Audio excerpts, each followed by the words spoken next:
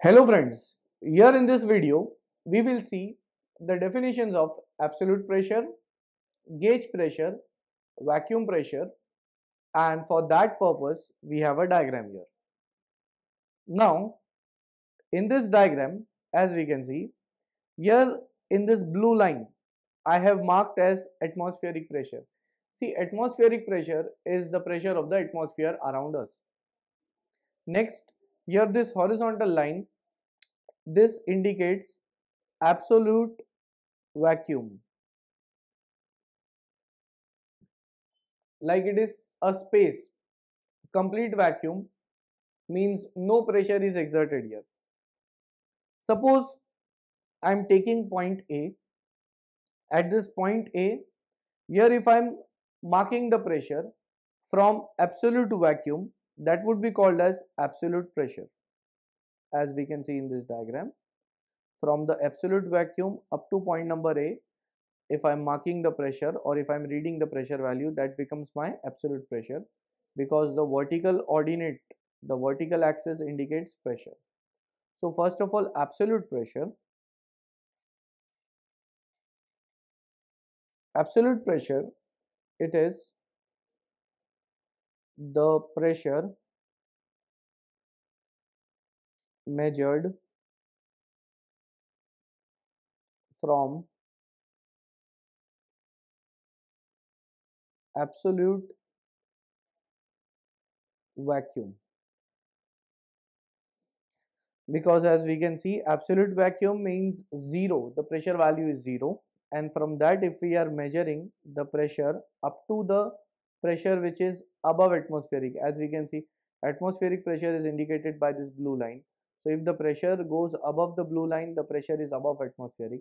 And if we are measuring with respect to the absolute vacuum that is called as absolute pressure.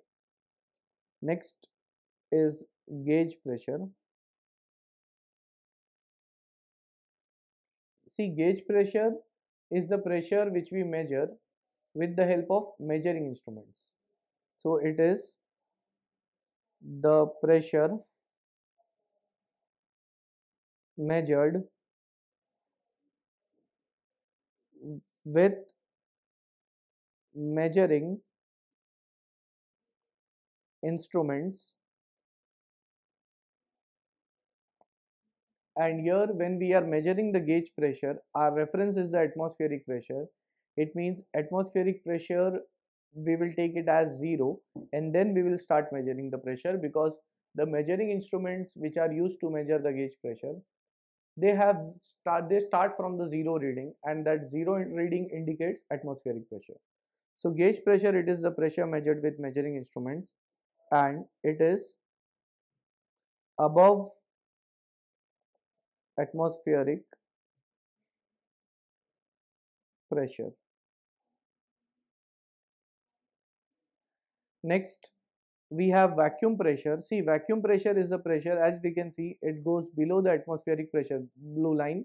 So it is called as vacuum that is atmospheric pressure. Here the vacuum pressure is less than atmospheric. So i'll write down. Vacuum pressure it is the negative pressure or pressure measured below atmospheric pressure. That is vacuum pressure.